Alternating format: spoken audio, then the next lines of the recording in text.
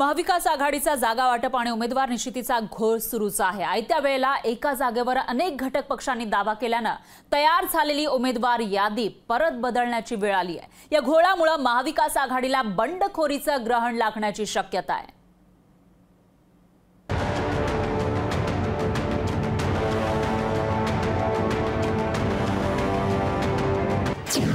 महाविकास आघाडीत जागा वाटपाचा घोळात घोळ चर्चेनंतरही एकमेकांच्या जागांवर दावेदारी.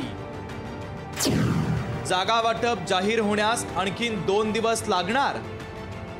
भाजपनं महाराष्ट्रातल्या वीस उमेदवारांची यादी जाहीर केलेली असताना महाविकास आघाडीच्या जागा वाटपाचा आणि उमेदवार निश्चितीचा घोळात घोळ काही संपता संपत नाहीये. उलट निवडणूक जाहीर झाल्यानंतर महाविकास आघाडीत आणखीनच घोळ सुरू झालाय.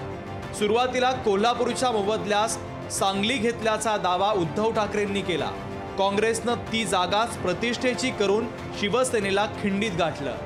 एवढंच नाही तर भिवंडीसह अनेक जागांवर नव्यानं दावा करून निश्चित झालेल्या जागा वाटपाचा विचका करून टाकला. आता वंचितसह काही मित्रपक्षांना सोबत घेणार असल्यानं नव्यानं मांडणी करावी लागणार असल्याचं सांगत दोन ते तीन दिवस उशीर होईल असं काँग्रेसचे नेते सांगू लागले आहे एक दोन दिवसामध्ये हा सगळं जो अडच ह्या आहेत जाग्यांचा प्रश्न आहे तो कारण की मित्रपक्षाशी नी चर्चा चालू आहे. त्यामुळे दोन दिवस लागेल. या विषयावरची चर्चा सुरू आहे. त्याच्यामुळे या आता ज्या मित्रपक्षांचा जो इश्यू आहे त्यांनाही आम्हाला सोबत घेऊन चालायचं आहे. त्यामुळे एक दोन दिवसामध्ये या जागा वाटपाचा इश्यू क्लिअर होईल. जागा वाटपाचा तिढा दहा ते बारा जागांवर असल्याचं सूत्र सांगतात शिवसेना उद्धव बाळासाहेब ठाकरे पक्षानं एक दोन जागांवर मतभेद असल्याची कबुली दिली आहे. आमच्यामध्ये तसे मतभेद नाही आहेत एखाद दुसरी सीट एखाद दुसरी जागा त्याच्यावर दोन्ही बाजूनी कार्यकर्ते दावा करतात.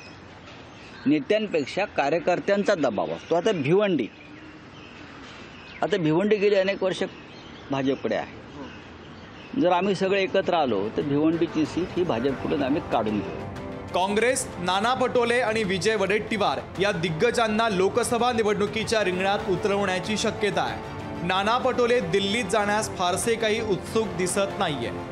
पण जेव्हा अंतिम यादी पक्षांकडून जाहीर केली जाईल त्यावेळेसच आपल्याला या विषयावरची मी आपल्याला मत मांडेल पण आता अंतिम यादी जेव्हा येईल पुढं त्यावेळेस आपल्याला उमेदवार कोण कोण आहेत ते कळेल. महाविकास आघाडीनं घातलेल्या घोळ्यामुळं बंडखोरीला वाव मिळण्याची शक्यता आहे. घोळामुळं महाराष्ट्रासारख्या महत्त्वाच्या राज्यात तीन तिघाडा आणि काम बिघाडा होण्याची दाट शक्यता आहे. अजय अडसूळ लोकशाही मराठी मुंबई.